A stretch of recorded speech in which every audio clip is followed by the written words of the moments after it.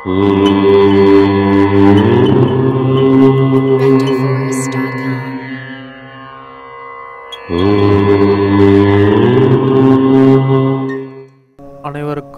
வணக்கம் நண்பர்களே. நாம் இப்பதிவில் பார்க்க போகிறது மூலிகை சாப நிவர்த்தி. அதாவது எந்த ஒரு மூலிகையை நம்ம பறிக்க போகும்போதும் அதோட உயிர் அதில் இருக்கிற மாதிரி நம்ம சாப பண்ணிட்டு தான் பிடுங்க வேண்டும். சிவன் என்பது உயிர் சக்தி என்பது இயக்கம். உயிர் இருந்தால் தானே இயக்கவே முடியும்.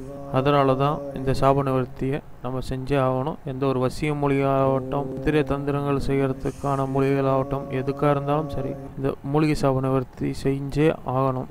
நான் மூலிகை சாப நிவர்த்திலாம் பண்ண மாட்டேன். அப்படியே பிடிங்க எடுத்துகிட்டு வரேன்னு நினச்சிங்கன்னா அது பிடி எடுத்துகிட்டு வந்ததே வேஸ்ட்டு தான். சரி இப்போது மூலிகை சாவணவர்த்திக்கு என்ன செய்யலான்றதை முதல்ல பார்ப்போம். மஞ்சள் நூல். இல்லைனாலும் கன்னி நூல்னு சொல்லுவாங்க அதை எடுத்துங்க கற்றாய் நார் இருக்கு இல்லைங்களா அதுலேருந்து எடுத்த நூல். அப்படி இல்லைன்னா தாமரை தண்டிலிருந்து எடுத்து திரித்த நூல். ஏதாவது ஒரு நூல் எடுத்து நீங்கள் எடுக்க போகிற செடிக்கு காப்பு கட்டி நெய்வேத்தியங்கள் வச்சு நெய்வேத்தியங்கள்லாம் என்னென்னு சொல்கிறேன் பால் பழங்கள் சர்க்கரை புஷ்பம் அதாவது பூ இதெல்லாம் வச்சு தூபதீபம் காமிச்சு ஆணிவேர் அருந்து விடாமல் எடுக்கணும்.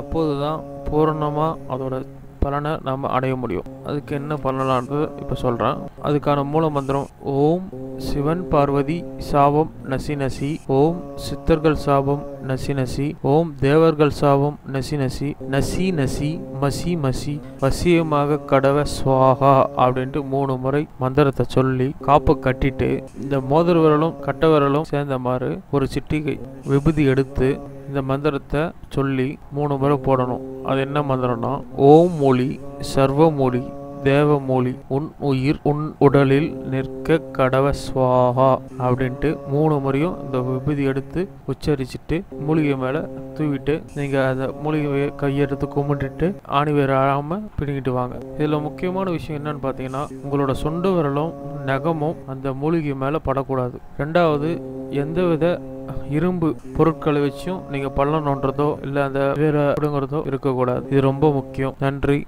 வணக்கம். அடுத்த பதிவில் பார்க்கலாம். ஓம் மச்சமுனியை போட்டு